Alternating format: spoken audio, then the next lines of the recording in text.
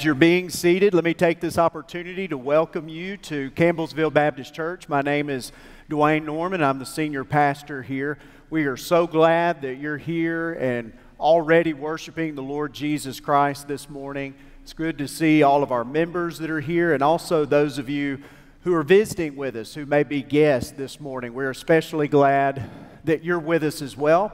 And we would love if you would do us the honor the bulletin that hopefully you received as you came in this morning, this worship guide's got a lot of great information in there. Love for you to just to take a few minutes and look through the worship guide, the bulletin, and you'll see all the upcoming uh, activities and ministry opportunities that we hear that we have here at Campbellsville Baptist Church. But there's also a little piece that we would love for our guests. If you would take a few minutes, please fill this out, and you can leave it a little bit later in the offering plate, or you can give it to uh, one of our greeters as we dismiss a little bit later this morning, or one of us pastors. Again, thank you for being here. It's so good to be in the house of the Lord, ready and willing to worship Jesus.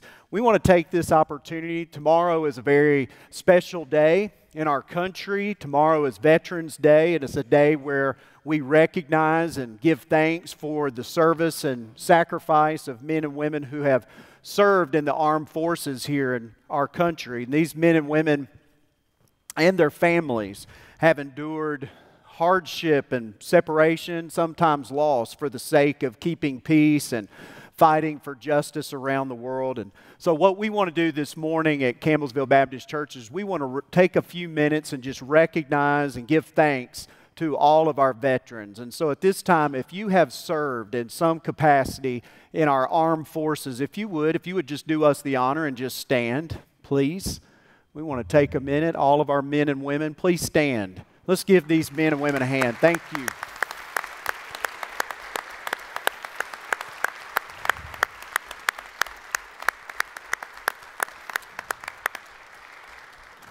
Amen. Let's, uh, let's pray for these men and women, and also let's pray for our country. Let's just go to the Lord this morning in prayer. Father in heaven, we remember today with gratitude all those who have served in our nation's armed forces, and we recognize, Lord, that many, many sacrifices were made by them and made by their families. Lord, it's also a reminder for us to continue to pray for those who are currently serving in the armed forces. We pray, Lord, for divine protection for them. We pray for wisdom for our leaders here in the United States of America, our president and vice president and his cabinet. We pray for the day, Lord, where there will be peace on earth. And we know, God, that peace ultimately only comes through our Lord and Savior, Jesus Christ. And so, Father, truly may your kingdom come, may your will be done on earth as it is in heaven. And Father, we offer this prayer in the name above all names, in the name of Jesus. And all God's people said, Amen.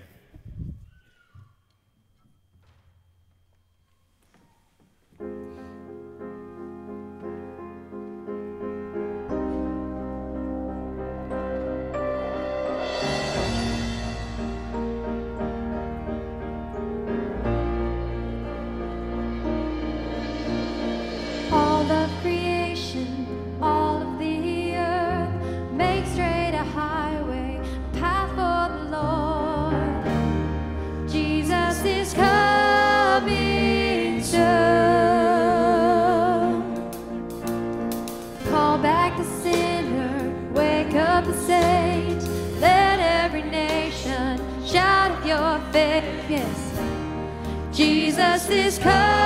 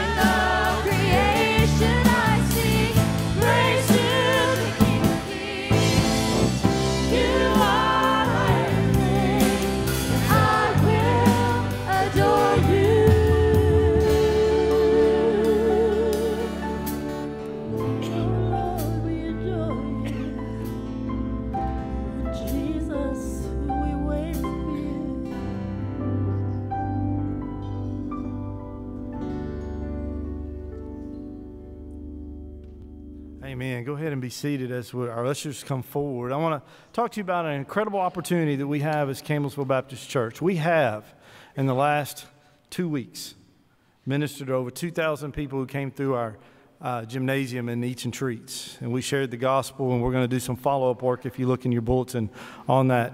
We have packed a thousand ninety-eight boxes for Operation Christmas Child. And so, Campbellsville Baptist Church has a heart and a passion for missions and outreach. We've, we've proved that over the 200 plus years of existence. We also have one more opportunity coming up very soon, and it's called Room at the Inn, where we have identified 23 families that have 63 children that without our help may not have Christmas. And so we need your help. We need you to give. There's an offering envelope that you may have received on the way in or just dedicate it uh, to help pay for the gifts for these children 63 children.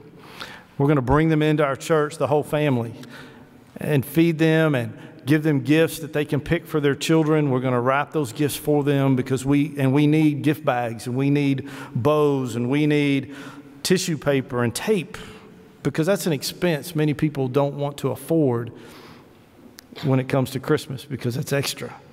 Um, but we also will pray with them. We'll take them in a room and have a special prayer time with each family.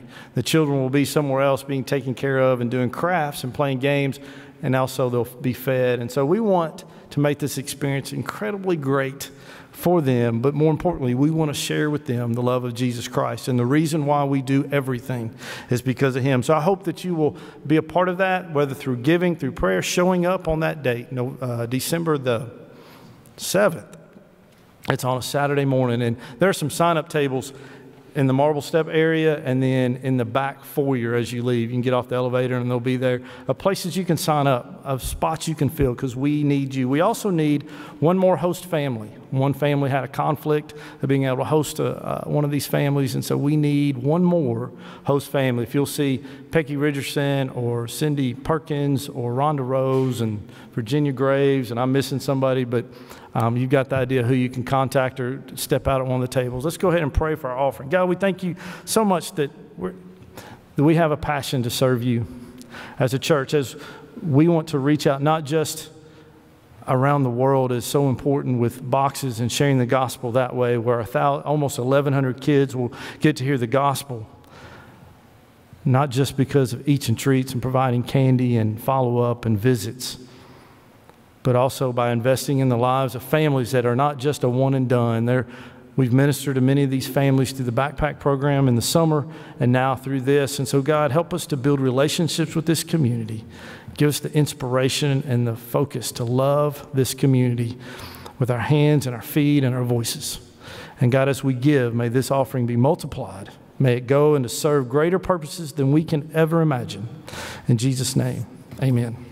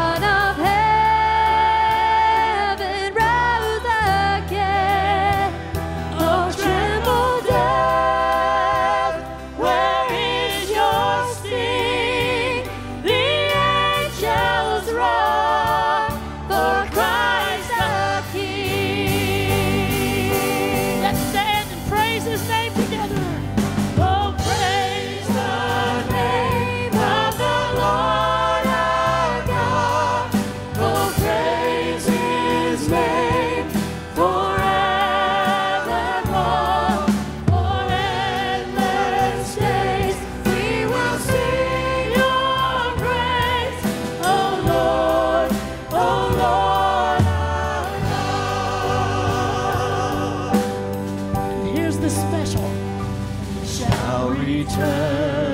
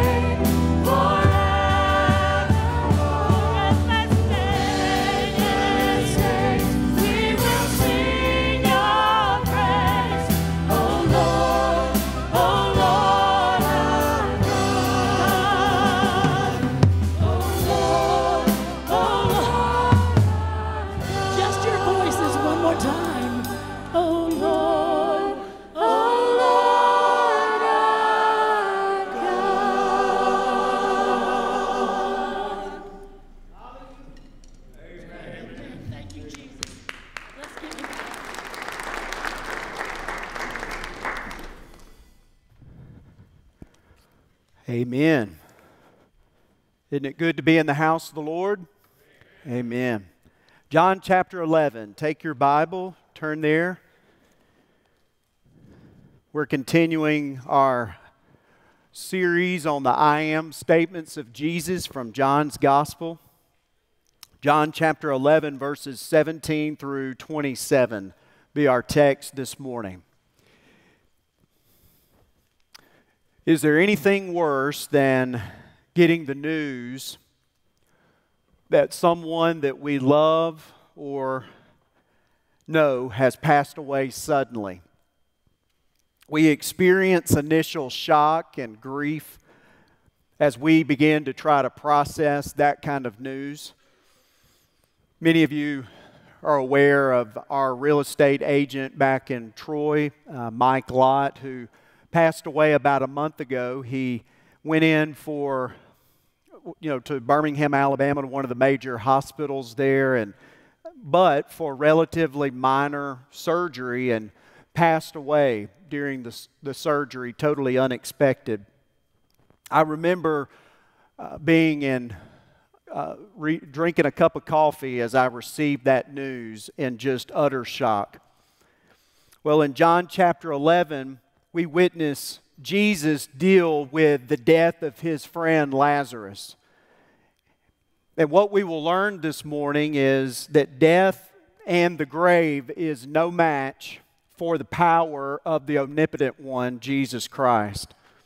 This morning, we will learn that Jesus is the resurrection and the life, and all who believe in him will live eternally. Pray with me. Father, as we study your text, as we study your word this morning together, Lord, what a blessing it, is, it has already been to worship you corporately with our brothers and sisters in Christ. Father, there's not a single one of us in this room that in some way has not been touched by the sting of death. But Lord, thank you for Jesus. That because of Christ, because of his death on the cross, and because of his glorious resurrection, he has removed the sting of death for all those who are in Christ Jesus. So, Lord, let your word penetrate, speak to our hearts this morning. This is our prayer in Jesus' name. Amen. John chapter 11, we want to want to share with you four observations from our text. Number 1, notice that Lazarus' death led to painful lamentation without Christ. There was there was mourning that took place. We're going to back up and just read beginning in verse 1 so that we kind of get the setting here. Now, a certain man was ill, Lazarus of Bethany, the village of Mary, and her sister Martha. It was Mary who anointed the Lord with ointment and wiped his feet with her hair, whose brother Lazarus was ill. So the sisters sent to him, sent to Jesus, saying, Lord, he, he whom you love is ill. But when Jesus heard it, he said, This illness does not lead to death. It is for the glory of God, so that the Son of God may be glorified through it. Now, Jesus loved Martha and her sister and Lazarus. So when he heard that Lazarus was ill, he stayed two days longer in the place where he was. Now, if we didn't know the rest of the story, that would not make any sense, would it? Why would Jesus prolong? Why would Jesus delay coming to see and be with his friends and his family? We know the rest of the story, or at least we will know the rest of the story in a few minutes. Verse 7 Then after this, he said to the disciples, Let us go to Judea again. And the disciples said to him, Rabbi, the Jews were just now seeking to stone you, and you're going there again. They didn't understand. Jesus, why would you be going back into the lion's den, per se? Why would you be going back towards the ones back to Jerusalem, back to the area of Judea, back to the ones who are trying to kill you and stone you to death? And Jesus answered, Are there not 12 hours in the day? If anyone walks in the day, does not stumble because he sees the light of the world, of this world. But if anyone walks in the night, he stumbles because the light is not in him. And after saying these things, he said to them, Our friend Lazarus has fallen asleep, but I go to awaken him. And disciples didn't understand they said to him, Lord, if he's fallen asleep, he will recover. In other words, it's good that he's sleeping. Now, Jesus had spoken of his death, but they thought that he meant taking rest and sleep. And Jesus told them plainly, Lazarus has died, and for your sake I'm glad that I was not there so that you may believe. But let us go to him. So Thomas, called the twin, said to his fellow disciples, Let us also go that we may die with him. Verse 17, our text this morning. Now, when Jesus came, he found that Lazarus had already been in the tomb four days. Bethany was near Jerusalem, about two miles off, and many of the Jews had come to Martha and Mary to console them concerning their brother. So when Martha heard that Jesus was coming, she went and met him, but Mary remained seated in the house. Martha said to Jesus, Lord, if you had been here, my brother would not have died.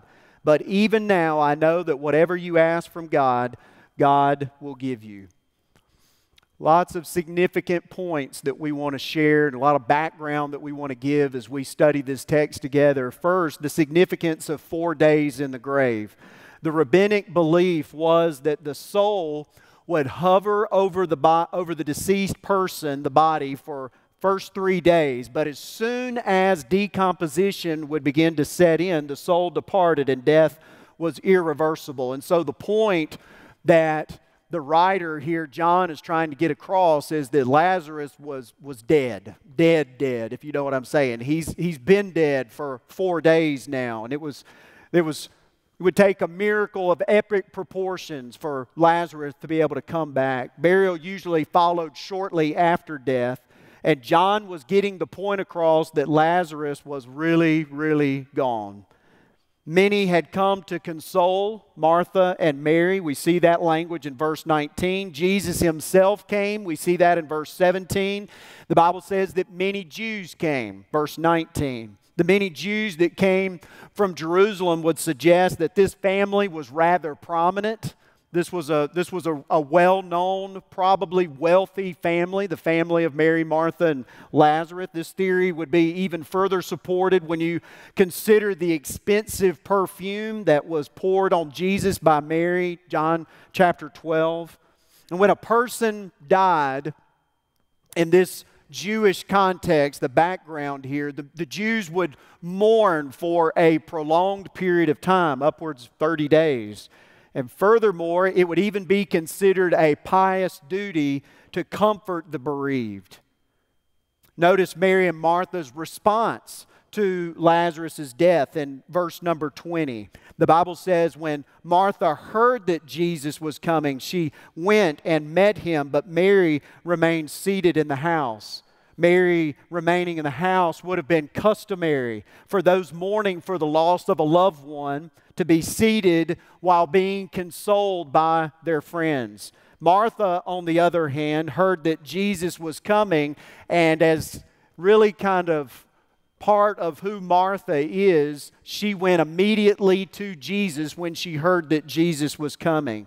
We've seen this side of Martha in other biblical texts. She was the one often to take the initiative. She was the one to go and and tell Jesus, what is Mary doing? Mary's just worshiping at your feet. I'm in the kitchen doing all the work. Martha was the one that often would take the initiative. And here she takes the initiative again and going to Jesus and leaving those who were trying to comfort them. Luke's gospel tells us on, on one occasion Mary sat at Jesus' feet. Martha was busy with her household duties. But don't miss Martha's word, words to Jesus in verses 21 and 22. She says, Lord, if you had been here, my brother would not have died. Some see this as almost, if you will, kind of a gentle rebuke, a, a, mild rebuke from Martha towards Jesus, or even maybe a hint of disappointment that Jesus delayed. As I began to process that in my own life, I began to think has there been times in my life where Jesus, I felt like Jesus didn't show up when Jesus was supposed to show up. Have you ever been there before? Have you ever asked in the midst of your pain, maybe you're even experiencing right now, why, Lord?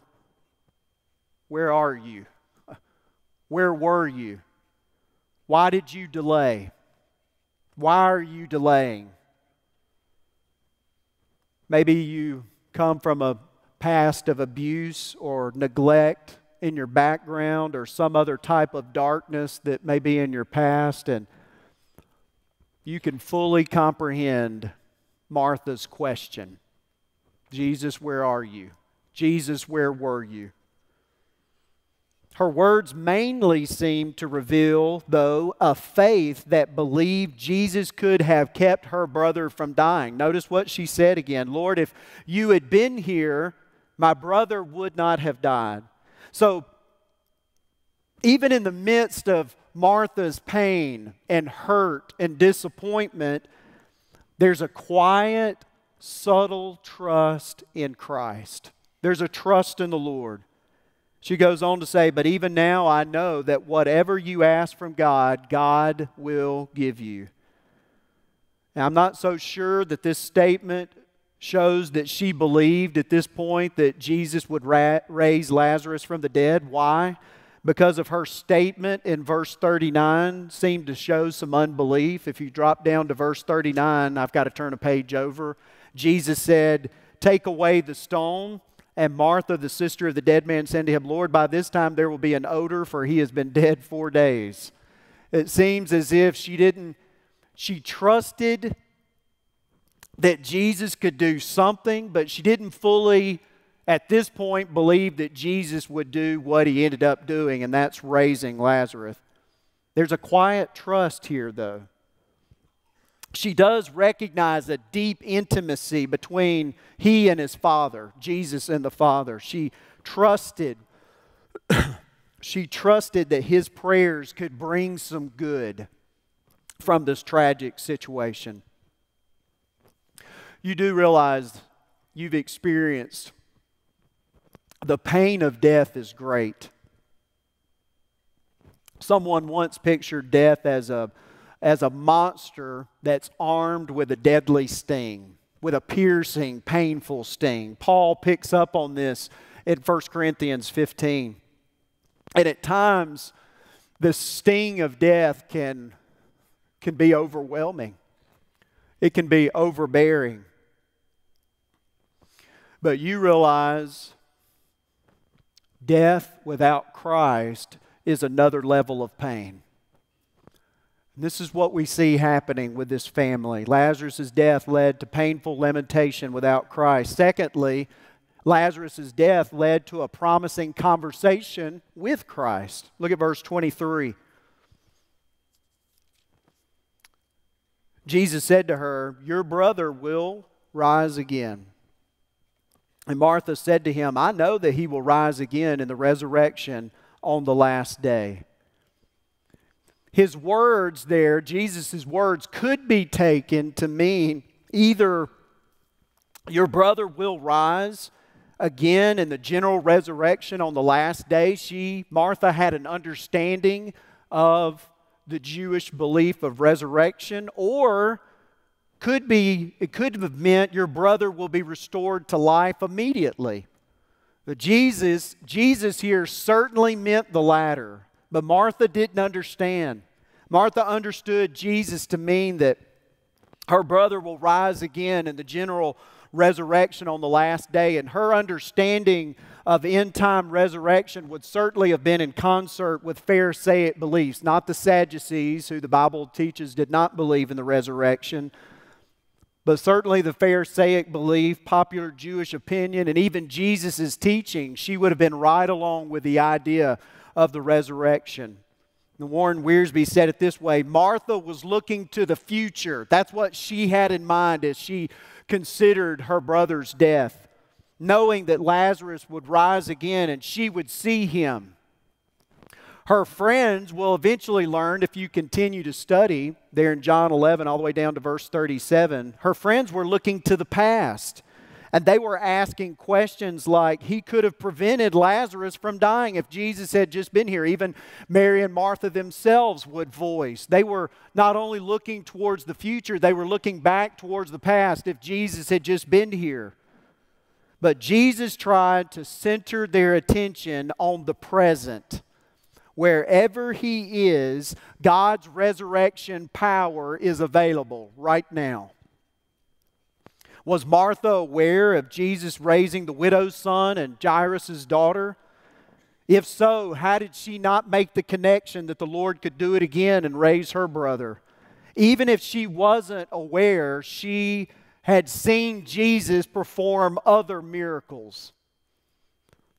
But the greater question today is this that we need to ask in our 21st century context How can we be aware of the gospel accounts of all of Jesus' miracles, including his own resurrection, and yet doubt that he can perform miracles in our own life or even in our own church? Maybe they didn't have all of God's Word at this point. They didn't have all of the New Testament, but we do.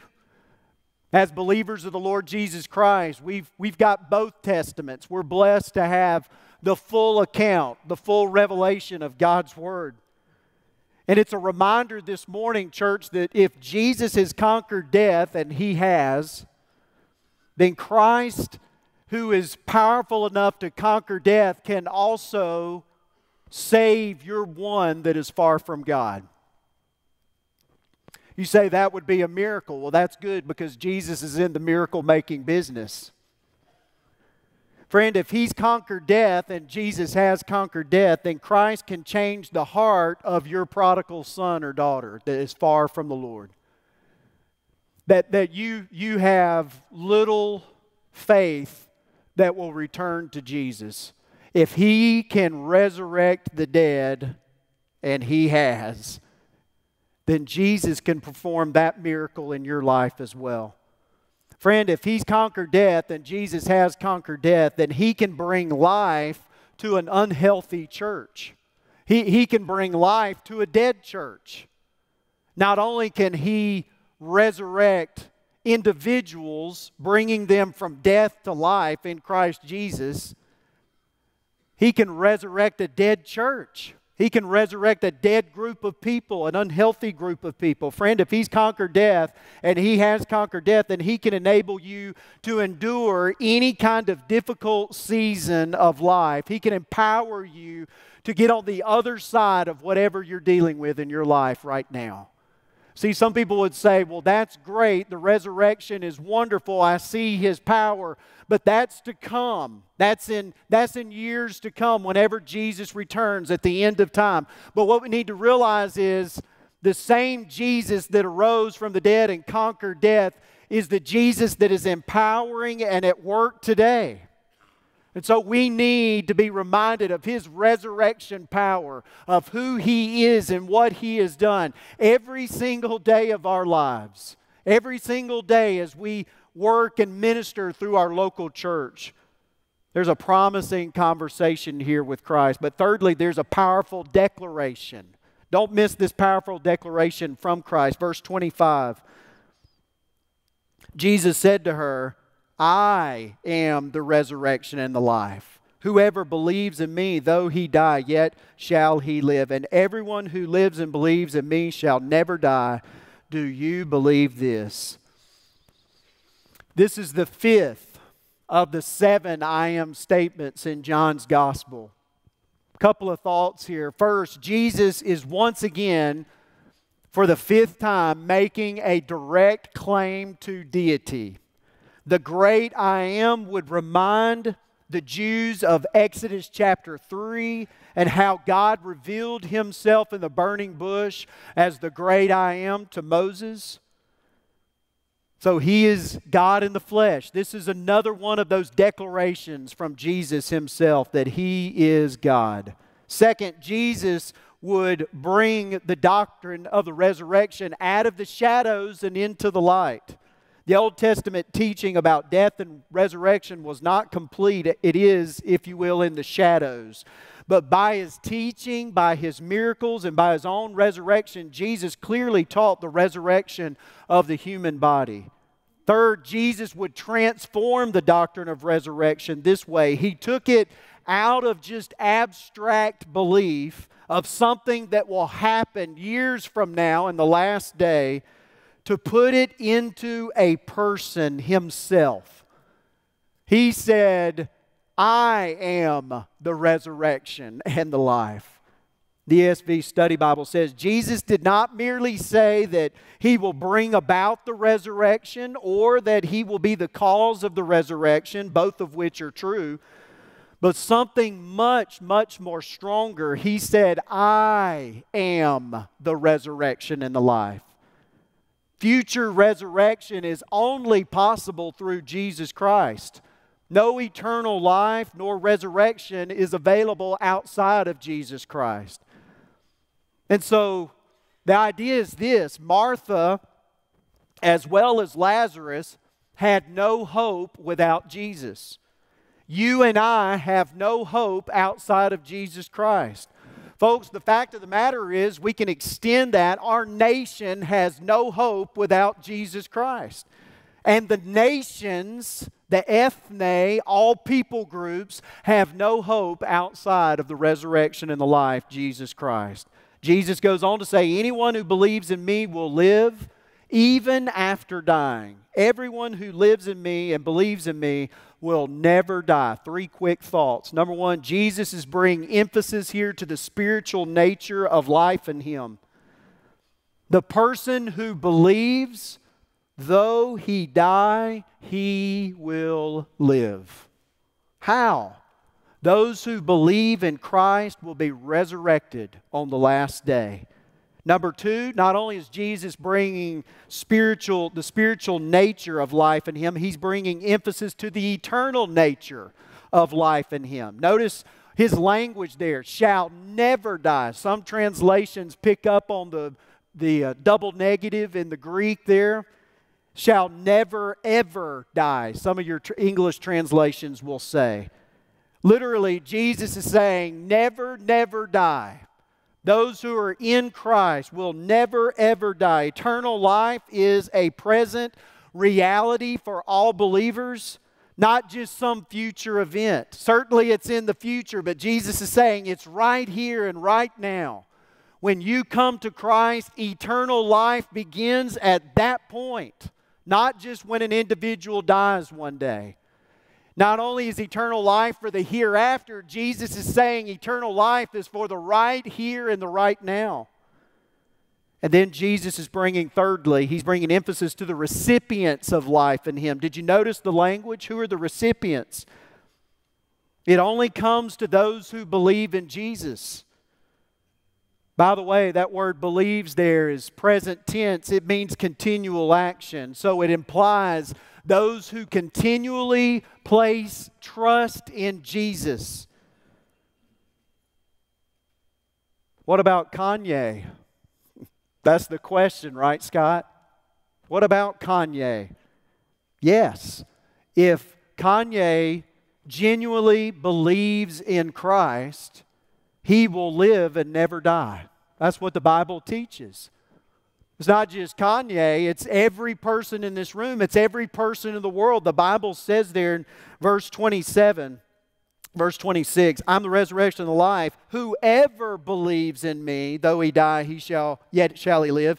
And everyone who lives and believes in me shall never die. So the recipients would be anyone who places continual trust in Jesus he will live and never die.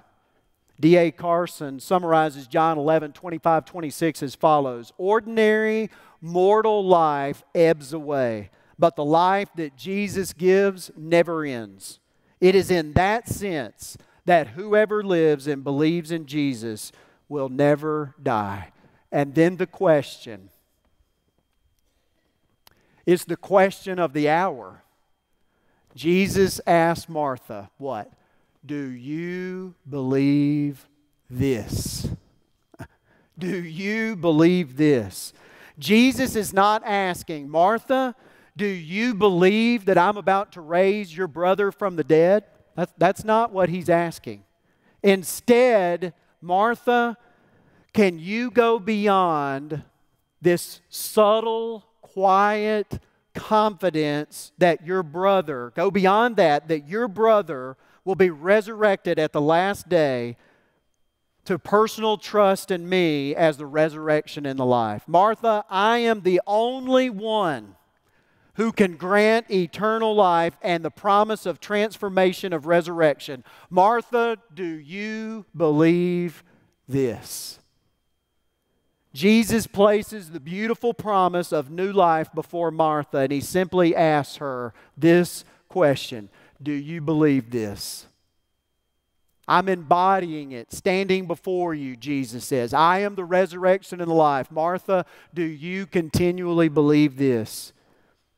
Friends, many things could be said about Jesus, the cross and the resurrection, but the question this morning that Jesus places before us is this Do you believe these words? Do you accept this to be true?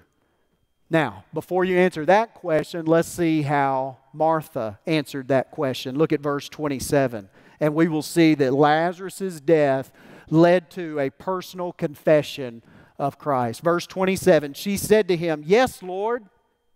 That's a good answer to Jesus, isn't it? Yes, Lord. I believe that you are the Christ, the Son of God, who is coming into the world. What is she saying? With the affirmative, she's saying, Yes, Lord, I believe. I believe, Lord. Then she states literally, I have believed. It's perfect tense. In other words, I have believed it and I will continue. It's uh, something I have believed in the past and I will continue to believe it moving forward. That's literally what Martha's saying here. And will always believe that you are the Christ, the Son of God who is coming into the world. She called Jesus Lord. What does that mean? Jesus, you are owner, of it all. You are master, you are Lord, you are rabbi. Have you ever come to the place in your life where you have said that He is your Lord? And not only do you say it, but you live as if He is. That He is Lord of your thoughts, that He is Lord of your life, He is Lord of your family, He is Lord of your church, He's Lord of your workplace, He's Lord at the schoolhouse, your relationships with other students? Is he Lord in all of those places? He's not looking just to be Lord on Sunday morning at 10:30 and maybe Wednesday night at 6 and Sunday night at 6. He's not looking for us to compartmentalize our lives. I'm going to allow Jesus to be Lord of, of, my life in this area, but all these other areas of my life, I'm going to keep those to myself. That's a lie from Satan if you take that bait. He's either Lord of all or he's not Lord at all. Is he Lord of all your life? Martha's saying, Lord, you are Lord, you are Master. She called Jesus the Christ. What does that mean? You're the anointed one, you're the promised Messiah. She called Jesus the Son of God. The Son of Man was much more common. Uh, designation for Jesus in the Gospels, but here he call, she calls Jesus the Son of God. This refers to Jesus' divine descent. Also anticipates the purpose statement at the end of this gospel, John 20, 31. Now, Jesus did many other signs in the presence of the disciples, which are not written in this book, but these are written so that you might believe that Jesus is the Christ. Here it comes, the Son of God, and that by believing, we've seen this kind of language in John's Gospel, you may have life in His name. That's the purpose statement for John's Gospel.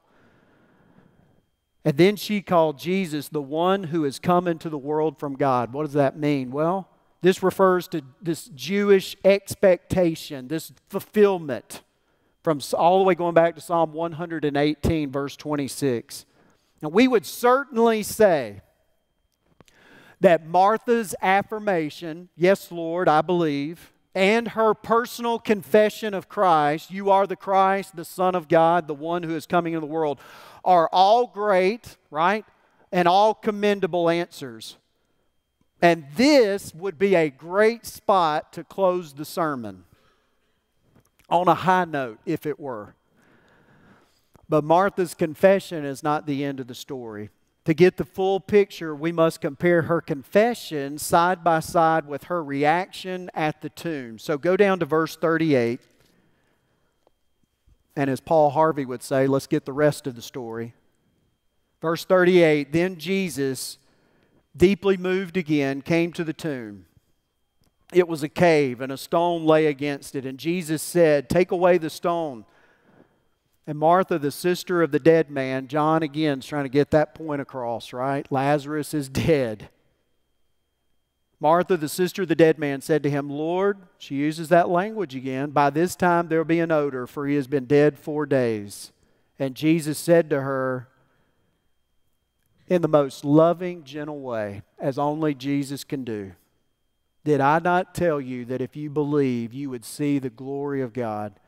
So they took away the stone, and Jesus lifted up his eyes and said, Father, I thank you that you have heard me. I knew that you always hear me, but I said this on account of the people standing around that they may believe that you sent me. And when he had said these things, he cried out with a loud voice, Lazarus, come forth, come out.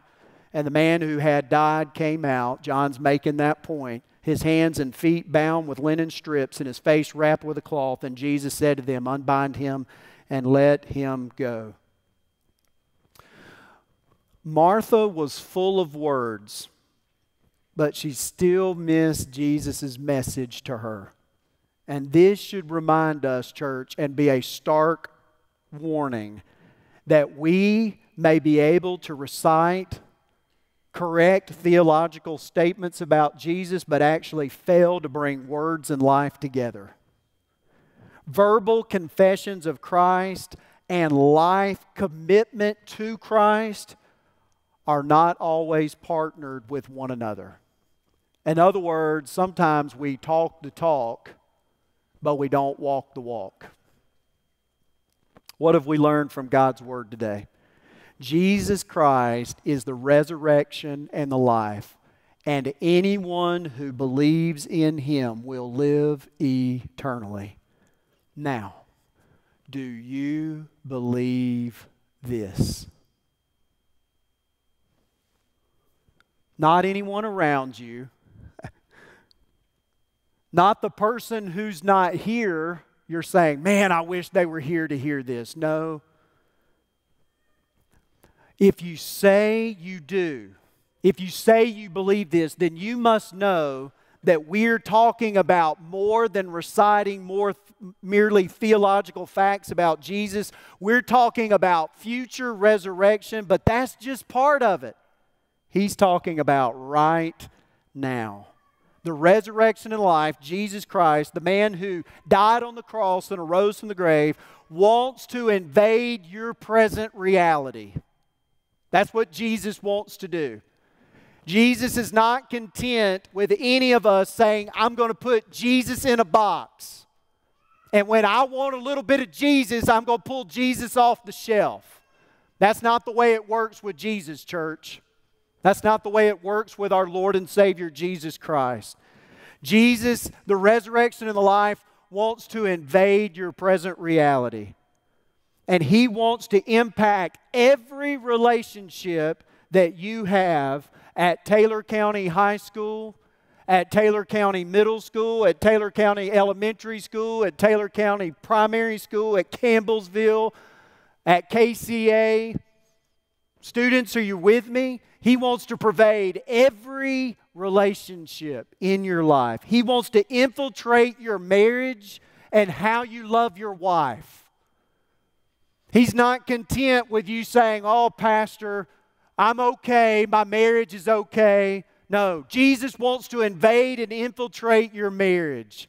And He doesn't just want to see a believer's marriage just coexist and survive. Jesus wants to see your marriage thrive and grow. He wants to influence, now I'm really about to start meddling. He wants to influence how you spend your money. He doesn't just own 10% of it, church, He owns all of it. Every dime in your bank account has Jesus stamped all over it. It's His. And He wants you to be a good steward. He wants to invade your present reality. See, some people say, Pastor, this is a message for lost people. It's a message for lost people, and it's a message for every saved person in this room. The resurrection and the life, Jesus Christ is not content just being placed over here. He wants to invade and infiltrate every area of your life. He wants to cleanse you from all your sinful stuff, from your past. He wants to redeem you and He wants to adopt you as a child of His.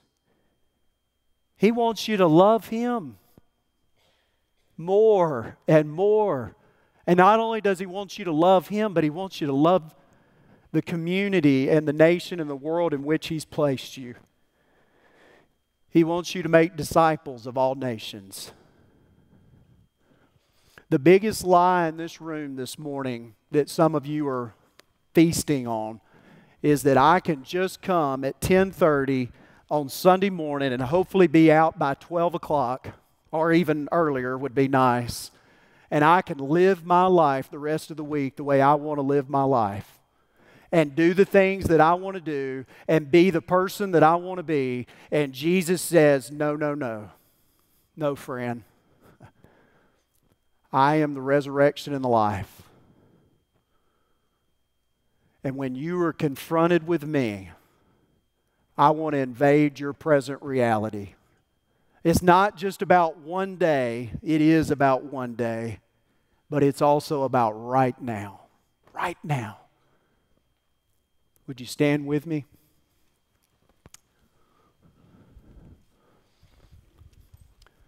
We're going to have musicians, they're going to come, and praise team members. We're just going to have a time where you can respond to the Lord Jesus Christ this morning. Jesus says, "Listen, I'm not I'm not comfortable. It's not okay just to put me on a little box and pull me out when you're when it's convenient." That's not how that's not how it operates with the resurrection and the life. That's not how it works. the resurrection and the life, stands before you. The one who has conquered death, the one who has arose from the grave. And he demands all of us total submission, total surrender to him and him alone. Father in heaven, I thank you for your word. I thank you, Lord, that as strong as these words are, Lord, I'm not even doing justice to how strong they are. Jesus is not saying, I am one of many. This is the resurrection and life. Jesus is not saying, I offer re- merely offer resurrection in the end day and that's it. But Jesus is saying, I am the resurrection and the life. And I want to invade your present reality. And I want to turn your world upside down.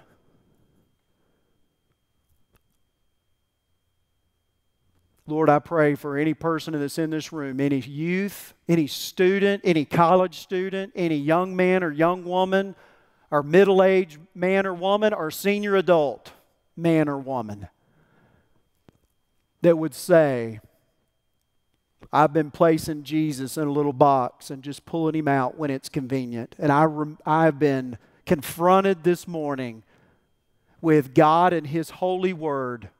And His Holy Spirit is bringing conviction to my heart that He is to be Lord of every square inch of my life. That goes for Sunday morning, that goes for Monday morning. That goes for Friday afternoon and everywhere in between.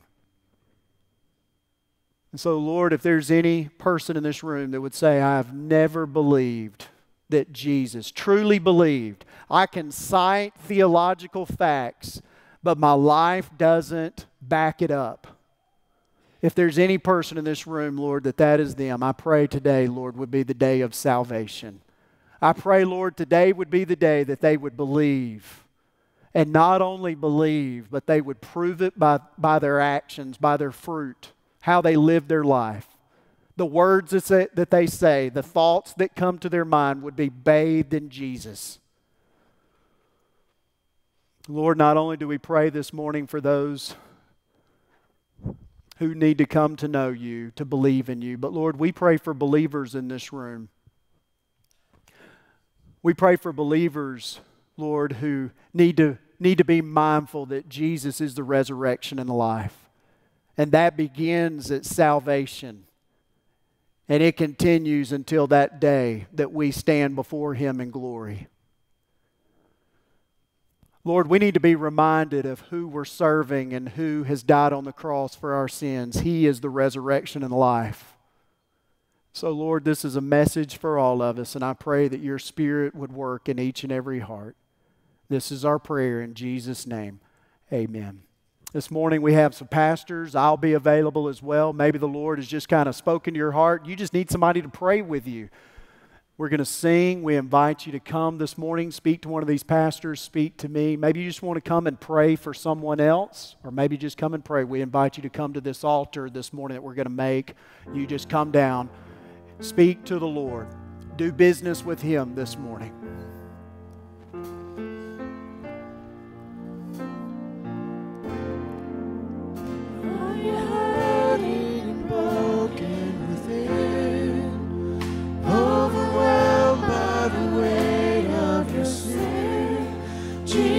Jesus is calling. Have you come to the end of yourself? Do you thirst for a drink from the well? Jesus is calling.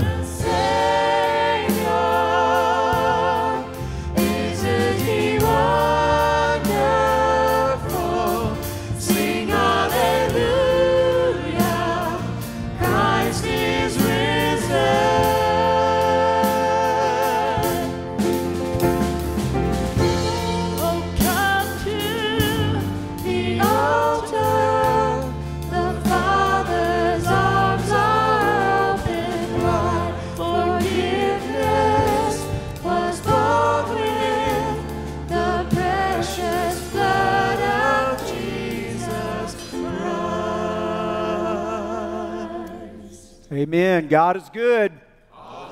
All the time.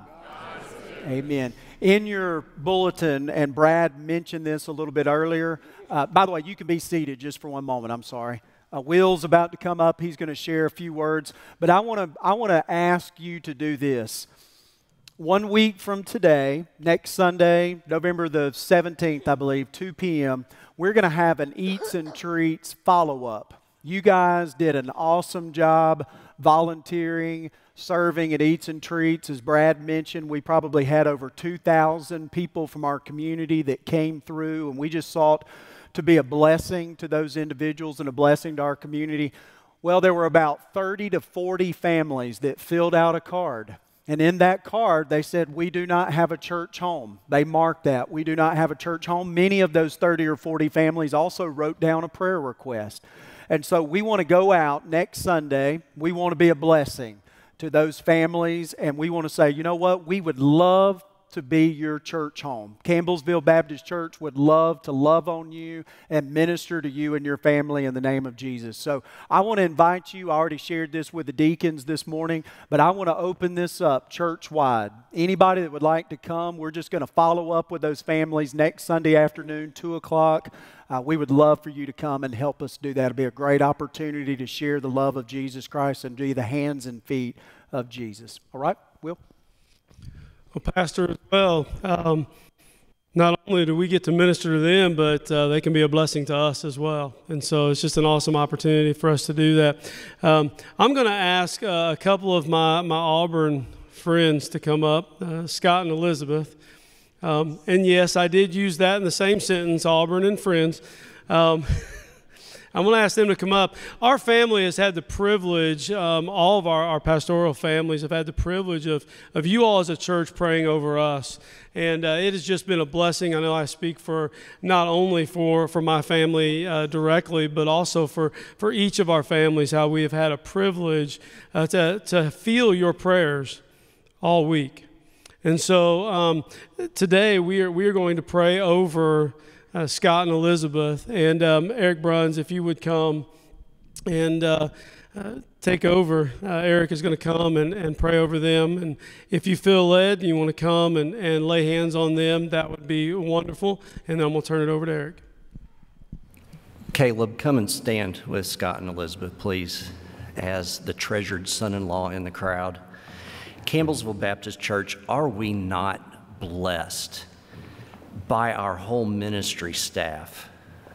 I have just been so overwhelmed in these last months for how the, the spirit, the power, the sweetness of what Jesus is doing here is continuing to grow. And I just thank you for each and every one that we've had the pleasure and the privilege of recognizing these past weeks. But join me as I pray for Scott and Elizabeth. Dear Lord, you open eternity to us by being the resurrection, the way, and the life. Father, I thank you that there was a divine appointment years ago. Two brothers playing basketball in a driveway, and a heavenly messenger came to share the word of the Lord and the truth of the gospel that lit a fire in both of those young men. And from that point forward, they have been kingdom warriors.